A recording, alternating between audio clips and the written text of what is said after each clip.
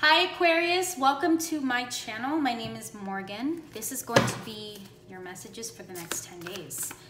I will be pulling six um, cards from this tarot deck here and three to clarify, one card from the angel, from these angel decks, and then at the end, I will be answering your questions. So please um, go ahead and ask question that you really want to need answers to, and it will be revealed at the end, okay?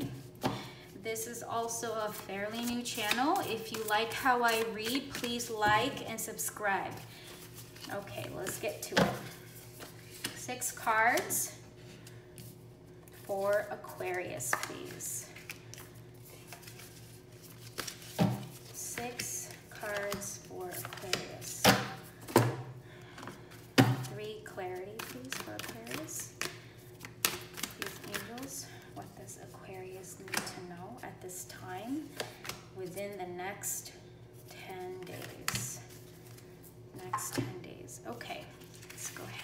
this here so you can see the cards. All right, let's focus on the first part of your 10 days we have, oh, the Three of Swords and Ace of Cups. Okay, there's a lot of heartbreak going on right now, sadness, um, but it will heal in time. But I am so sorry if you guys are going through a hard time, a tough time. This will reveal itself in the first part of the 10 days. But also, it's going to be a new emotional experience because you have the Ace of Cups. So whatever that was a heartbreak to you in the beginning of your 10 days, just know that it is a love letter of experience, a love letter from the universe, maybe learning a lesson, a life lesson. And the clarity for this energy, step out of your comfort zone, yes. So um, yeah, it's uncomfortable. It's uncomfortable that you're going through this in the beginning of the 10 days, but just know that there's good intentions behind it. I do see there might be um, a heartbreak that happened in uh, a family bond situation. I also see a little bit of maybe cutting ties with a friendship that you thought that was going to last last for a very long time. So there's a lot of emotional, um, emotional grace here. There's a lot of emotional experiences that you're going through at this time. It is a bit heavy. So the second half or portion of your reading in the next 10 days is pretty much options. Make a choice. You have seven of cups. So many options here for you. And you have the moon underneath so a lot of um, a lot of intuition uh, a lot of messages that needs to be heard. So seven of cups is about choices. There needs to be um, a lot of options coming in. Too many options sometimes. So the key thing is to listen to your intuition. You got the moon let go of your fears and listen to your intuition and everything should go on the right path for you. The clarity is you and your loved ones are safe. So it has something to do with your family, your children, your loved one. Just know with any options or when, uh, with any cup you choose here, um, and if you go with your intuition, your loved ones will be safe. And they you don't need to worry about their um, their well-being because whatever you choose is for their well-being. Okay? If that makes sense.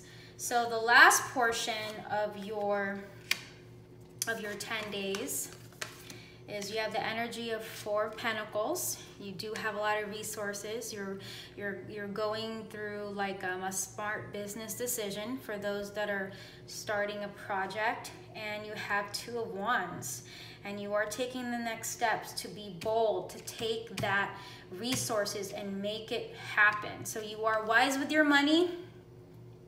You are seeing things in black and white, and you're also uh, sharing um, generosity when needed. But really, it's a bold, ambitious choice that you are going through and you are continuing to move forward. As you can see, these two people are moving forward. They're looking forward, not backwards. Even this lady right here, move forward with your pentacle in your hand. So you are moving in the right direction with money. Hold your vision, exactly. Uh, there's going to be a lot of people that will doubt you. There's going to be a lot of people that won't understand your vision and it's really up to you to keep hold of that. Uh, it's not really their life so i'm just being honest. Like it's really not their it's not their life it's your life. So whatever feels good for you you must take that bold move.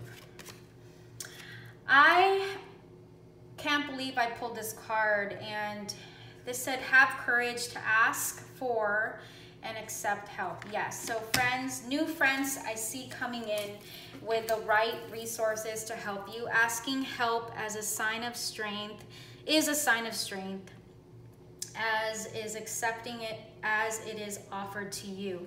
Very often when you ask God for help, prayers are answered through their through other people. Be sure to accept this assistance as well as give it to others as you are guided. Yes, so the project that you're dealing with here is absolutely supported by this card because uh, you're working on a new project that's way different from the past. So you need new resources, you need new friends, you need new guidance. So that is definitely a green light there. Family. I do see that family is absolutely involved. Um, loving your friends and family is central to your life purpose. Yes, it is central to your life purpose, but I also feel like they are kind of putting their claws into your mind, which you should not be doing because you are you are supposed to be listening to your intuition, okay? So family is important. Family is needed in, in your life. However, you must put boundaries. I see that. I think for sure encourage, ask for help. So if your family is willing to give you that res or give you that assistance, yes, but there's also boundaries involved. Okay, so let's move forward to the book of answers. The questions you have in your mind, please ask now. And I will be pulling the, oh wait, I got this out. I got this out now. This is, this is, for some reason, this one came out. Don't get caught up in the details. Yeah, well, you know what, Aquarius, you're really, infamous with having so many things in your mindset, so many things wiring in and out of your brain. It's really hard to keep up. So um, don't, get, don't get caught up in the details. Just do one step at a time. That is all for now. If you like how I read, please subscribe to my channel and click or um, yeah, click the like, but like button. I appreciate you and I will see you in my future videos. Bye for now.